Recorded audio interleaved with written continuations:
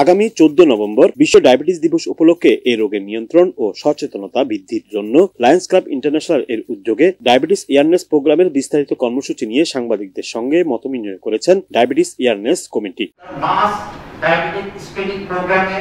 একটা শনিবার সকালে সিনিয়র্স ক্লাব এর কনফারেন্স হলে ডায়াবেটিস এয়ারনেস কমিটির সদস্য সচিব লায়ন মোহাম্মদ তাহের আহমেদের সঞ্চালনায় লায়ন ডক্টর নওশাদ আহমেদ এর পরিচালনায় এই সাংবাদিক সম্মেলন অনুষ্ঠিত হয়।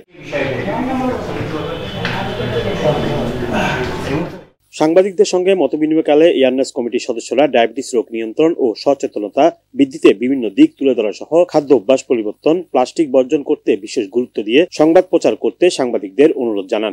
আমরা যদি আমাদের খাদ্যাভ্যাস এবং চালচলন এবং এই যে কেমিক্যাল এবং প্লাস্টিক পলিথিন বর্জন যদি করি তাহলে আমরাও সুস্থ থাকব আমরা ক্যান্সার আক্রান্ত হব না। আমরা যদি রোগ নিজেরাই প্যারেন্টসের যদি রোগী হয়ে যায় তাহলে আমাদের থেকে যে সন্তানাদি আছে ওগুলিও রোগী হিসেবে আসবে তো এটার মধ্যে ডায়াবেটিস রেটিনোপ্যাথি একটি একটি বড় চ্যালেঞ্জ যেগুলি আমরা এই ডায়াবেটিসের কারণে ডায়াবেটিস হওয়ার কারণে আমরা অন্ধত্ব বরণ করছি।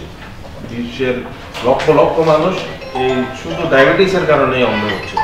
চোদ্দ নভেম্বর থেকে মাসব্যাপী চট্টগ্রাম খাগড়াছড়ি কক্সবাজার জেলায় ডায়াবেটিক রোগের সচেতনতা বৃদ্ধির জন্য কাজ করবে Lions Club International Diabetes Awareness Committee জানান তারা। নভেম্বর ডায়াবেটিস ডে সারা বছরই মাসটা বিশ্ব পরিবেশ এ সময় উপস্থিত ছিলেন লায়ন্স ক্লাব ইন্টারন্যাশনাল এর Chittagong district governor Lion Sheikh Shamsuddin Al Siddique সহকারী governor Lion Kohinoor Kamal cabinet secretary Lion Hasan Mahmud Rajanigandha গ্রুপের লায়ন মমতাজ বেগম সহ আরও অনেকে।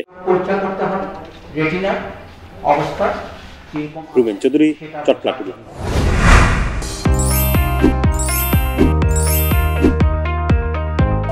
চট্টলা টিভি ইতিহাস ঐতিহ্যের প্রতিচ্ছবি।